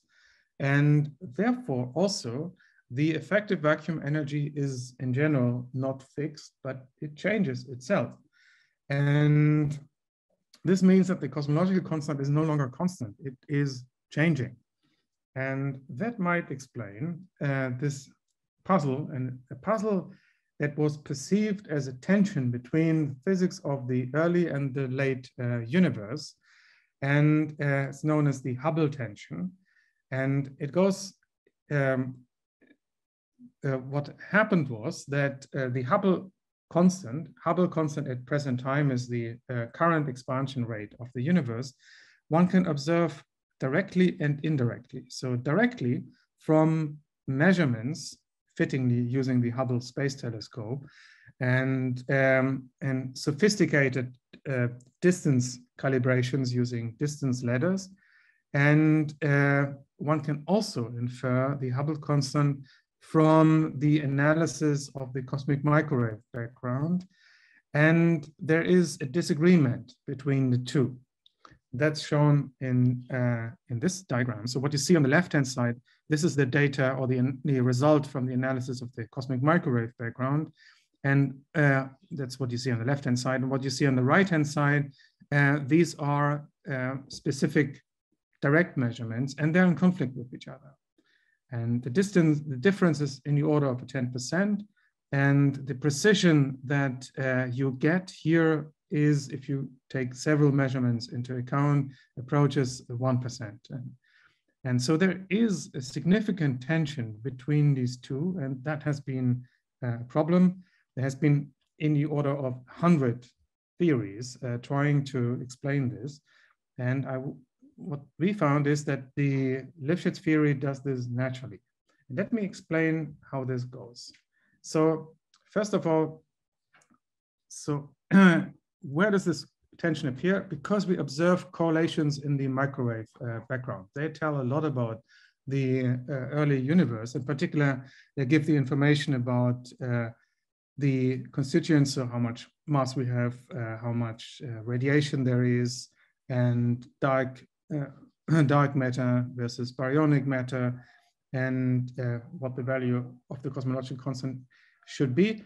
And uh, so you have these uh, correlations in the cosmic microwave background, and they're the result of waves. So in the early uh, universe, when the universe was filled with plasma, you had the requirements for, if you like, sound waves because you had the two crucial ingredients. You had inertia and pressure. The inertia was essentially given by matter and the pressure by light. And as long as light and matter was coupled to each other, then uh, you would have the uh, formation of waves. And these waves then cause correlations in the noise. So this noise was created possibly through uh, inflation. And, uh, and then there it became correlated because of these waves. So essentially what we are doing by analyzing the cosmic microwave background and its fluctuations is to look for wavelengths, for correlations created by waves. Now, um, now these waves, they are generated about 13.8 uh, billion years ago. And uh, in order to uh, relate their wavelength to an angle in the sky, you need to know the distance. And the distance is 45, uh, 45.4 billion uh, years. So it's not the equivalent of uh, uh, 45.4 light billion light years away. So it's not the equivalent of 13, 13.8 billion years. There's a big difference between the two. Why is that? Because of the expansion of the universe. We could visualize this as a time-dependent refractive index. And that meant that at the very beginning, the speed of light was a lot faster because the index was lower, about a thousand times faster than now. So if you if this if light is propagating faster than it was now, then that's not a surprise that uh, the distance to the place where for us the cosmic microwave background was was generated has been enlarged. And because this depends on the history of how the universe uh, expanded, it then depends on the cosmological constant. So initially the formation of these waves there, uh, the, the cosmological constant didn't play a significant role, but it did uh, during the expansion of the universe. And now if you have, instead of a constant, a time-dependent refractive index, uh, uh, you always have a uh, time-dependent refraction, but the cosmological constant is no longer a constant, then uh, you do get a correction. And it turns out that this correction is exactly explaining what the astronomers have observed. So it's shown in this curve. So there you see uh, various types of experiments and also observations and fitted along the curve. And this curve is for us, it's a coupling parameter of our theory. And if you choose for this coupling parameter, um, a cutoff that is exactly at the Planck scale, you get this point. And this point is at the same value uh, with 1% precision as the observed, the most precise observed value, which also has 1% uh, uh, precision. So it seems that Lifshitz theory fits exactly what the astronomers have, have seen within the precision of the prediction that we can make. Uh, what we also have analyzed is that uh, what is the Lifshitz theory then telling about the role of vacuum fluctuations for the early universe? So will there be a significant contribution there? If there were a significant contribution, then uh, we should have we should see a completely different uh, correlations for the for the cosmic microwave background, not the beautiful spectrum that astronomers uh, have uh, extracted and analyzed. And um, it turns out that the influence is very small. So the influence is in the order of a percent, and that's the accuracy of the cosmic uh, parameters.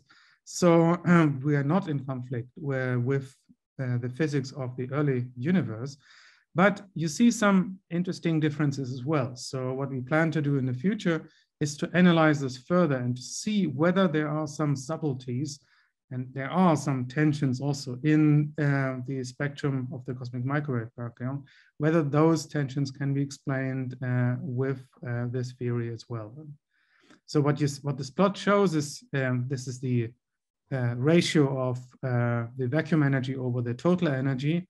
And uh, again, plotted as a function of redshift. And uh, so you're going back into the past, higher, higher uh, redshift. And you see that for the present, uh, there is a significant contribution of the vacuum. So we are really vacuum dominated.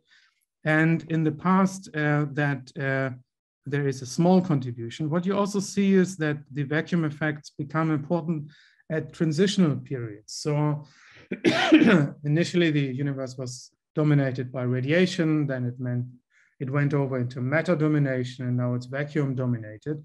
And during the transition periods, there um, the Lifshitz theory predicts that uh, you get uh, uh, you get a contribution, so you get some effects created by vacuum fluctuations. Right. So this is what I wanted to tell, and uh, so it seems possible that the physics of Casimir, the Casimir effect and the theory that uh, is behind it, it might even shed some light onto a dark subject, dark energy, the cosmological constant, and uh, explaining that this is related to physics that we know of. In some way that uh, the expansion of the universe, the accelerated expansion, which draws a rather um, depressing picture of the fate of the universe, so it's expanding in, uh, forever into nothingness, that this is just the other side of a force that is necessary for us to exist and uh, that is behind the capillary forces and that is an essential ingredient of life. These two things belong together, uh, which is an interesting philosophical thought that uh, the force that in the end kills the universe is essential for, for life, if this theory is correct. Thank you very much. Thank you, Ulf. Very nice talk. Very provocative, I must say. Um, are there any questions?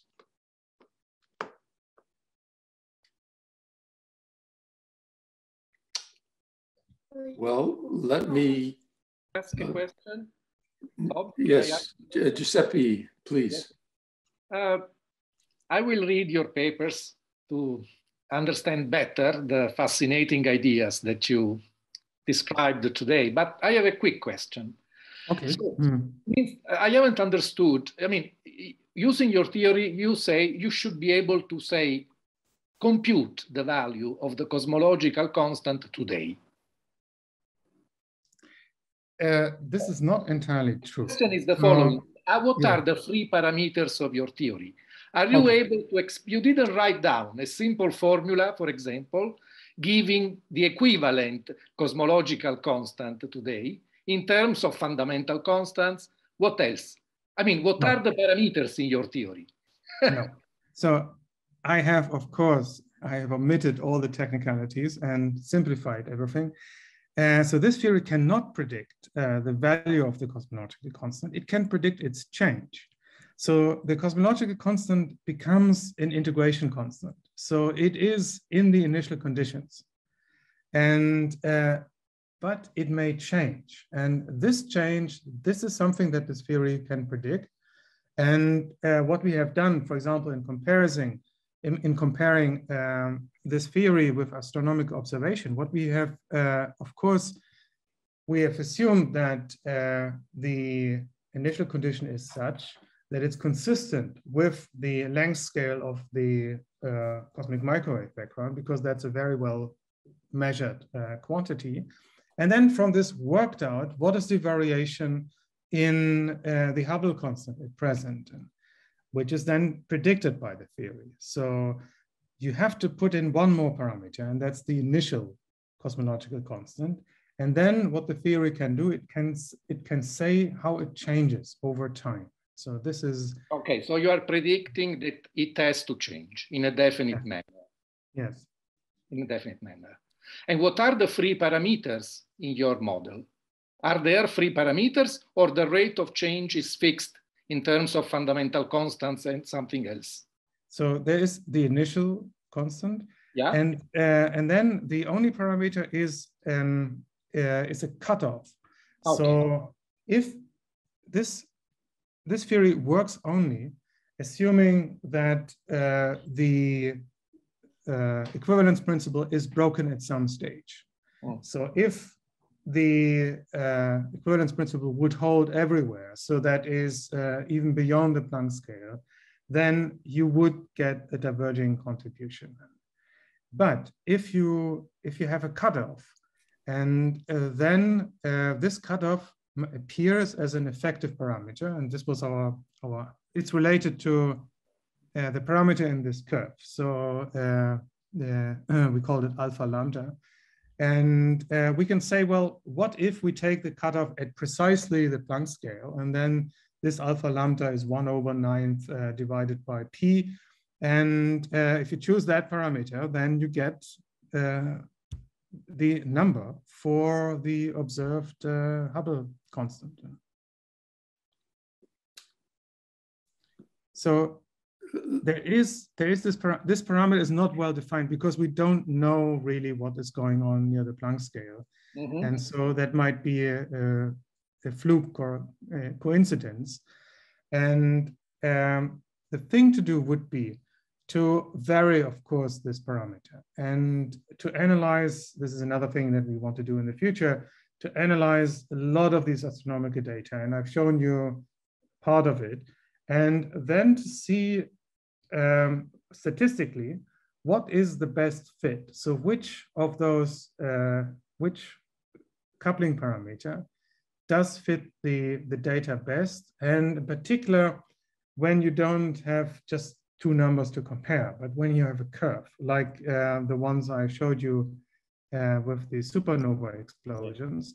So there you do map out a curve. So you need to fit uh, a uh, thousand data points in that case. And what does the prediction say there? And is it better than the standard model? And, uh, and if so, how much? How much can you trust it? How significant is it? These are questions we want to address. That will take some work. Okay, thank you. Let, um, Ulf, let me uh, ask a question that's related to this and pointed. Um, what happened to the 10 to the 120th? They go by renormalization. So that's another thing. I, I uh, so given the lack of time, I haven't uh, explained properly. And uh, so the 120 organs of magnitude come in if you assume you don't renormalize. So that there is a cutoff, cutoff at a Planck scale, that uh, where you don't have any infinities. So the infinities that we renormalize away in the Lifshitz theory, that uh, they are they're just large numbers, and uh, because they're a constant, they shouldn't play any role. That's the 120 orders of magnitude. If they were actually present, they would change everything. I, so I we think... would not exist uh, at all uh, in in that case. I'm afraid that you, that renormalization doesn't solve all your problems, though, because the condensates that occurred during the evolution of the universe change the effective value of lambda by amounts that are uh, of the order of the condensate scale. So if you've renormalized lambda so it's zero, the, the vacuum fluctuation piece of lambda, so that it's zero now, just before the QCD chiral symmetry breaking phase transition, which filled the vacuum with a chiral condensate, there would be a contribution to the cosmological constant that is so large that it would change the early stages of uh, element formation and expansion of the universe during the time where we have very good evidence that the universe was expanding again with zero cosmological constant. You can't renormalize it twice. This, this theory, uh, of course not. So this theory assumes that um, so its dominant contribution, they come really from close to the Planck scale, so from very short wavelengths. And, and it essentially assumes that at that, uh, at that scale, then uh, all the other effects we would worry about, they are, they are no longer present. So we don't have, uh, we don't need to worry about uh, uh, the non-ability of fields. We don't need to worry. We don't need to worry about mass anymore because uh, this is all small in comparison with uh, with the with the Planck length. That things become simple at this stage. This is the assumption that is made, and uh, and then um, renormalization is performed simply by uh, or in a renormalization is performed as we have learned from renormalizing uh, the Casimir effect in uh, continuously varying media. This is the difficult part of the story also.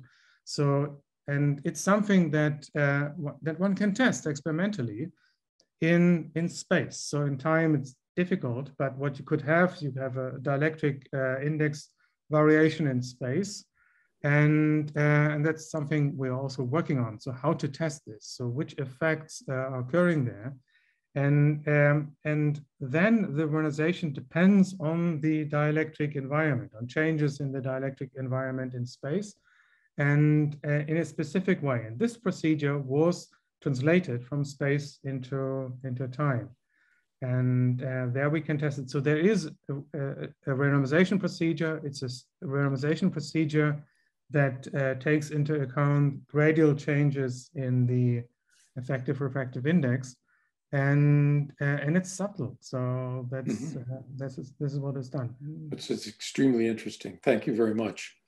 Um, I think I think we've run out of time. So uh, thanks to Ulf and thanks to the other speakers during this second session.